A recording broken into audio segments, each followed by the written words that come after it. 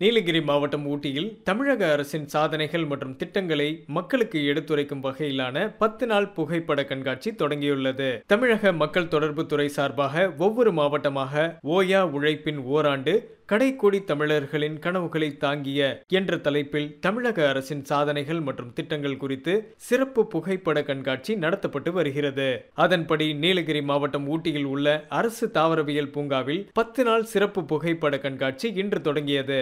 இந்த கண்காட்சியை நீலகிரி மாவட்ட ஆட்சியர் அம்ரித் தொடங்கி வைத்தார். பின்னர் பல்வேறு துறைகள் சார்பாக கண்காட்சியில் இடம்பெற்றுள்ள அரங்குகளை அவர் பார்வையிட்டார். அதில் வனத்துறை மற்றும் தோட்டக்கலைத்துறை சார்பாக வைக்கப்பட்டுள்ள அரங்குகள் பார்வையாளர்களை வெகு வெகுவாக கவர்ந்தது. குறிப்பாக தமிழக அரசின் சாதனைகள் மற்றும் திட்டங்களை எடுத்துரைக்கும் விதமாக அமைக்கப்பட்டுள்ள பிரம்மாண்ட புகைப்படங்களும் கண்காட்சியில் இடம்பெற்றுள்ளன.